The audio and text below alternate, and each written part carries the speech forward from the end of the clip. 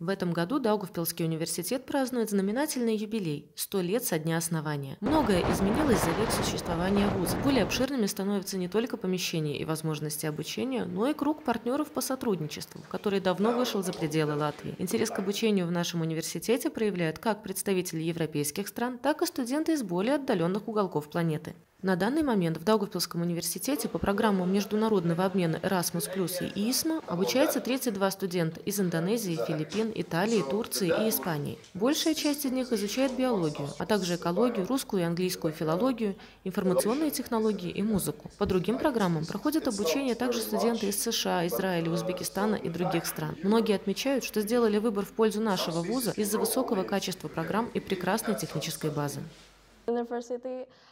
Когда я планировала, куда отправиться по программе обмена, изучила информацию об этом университете и поняла, что он превосходно подходит для изучения биологии. Здесь очень хорошее техническое оборудование, микроскопы и многое другое. Лекторы также очень знающие и отзывчивые. С одним из них у нас сложилось тесное сотрудничество, и я очень надеюсь, что оно не прервется. Я даже после отъезда смогу черпать знания у специалиста столь высокого уровня.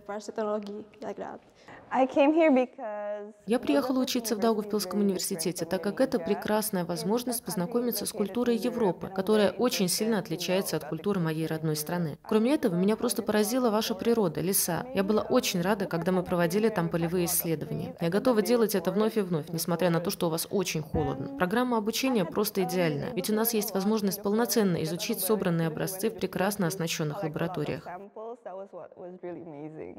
Следующий семестр также обещает быть интересным. В Даугавпилс приедут студенты по обмену из Индии, Филиппин, Израиля, Таджикистана, Лесота, Беларуси, Литвы, Польши, Турции и Италии. Представители Даугавпилского университета отмечают, что, учитывая климатические условия в нашей стране, интерес к весеннему семестру всегда выше и призывают жителей города с пониманием и гостеприимством отнестись к молодым людям, которые проделали долгий путь, чтобы на несколько месяцев Даугавпилс стал их домом.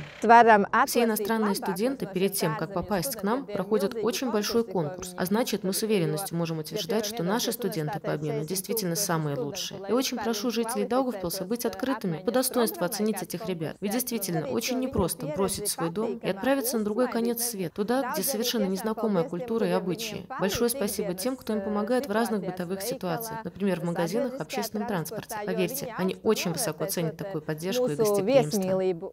Сюжет подготовил отдел коммуникации Даугавпилского городского самоуправления.